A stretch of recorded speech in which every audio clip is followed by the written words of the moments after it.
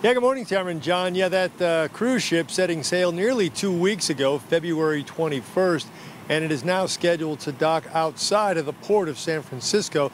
And we're also hoping to get some more clarification regarding all of this uh, throughout the day today, hopefully by later today. Officials say so far 21 individuals on that cruise ship are being kept in isolation.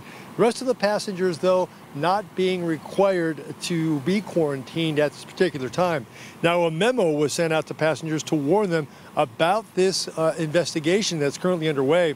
Monica Actor says she's not especially worried. She's the woman from Utah. She says the crew members have done a really good job as far as she can determine of keeping the ship really clean I probably feel less at risk because I see how much they're cleaning all the time. I haven't been worried about it at all this whole time.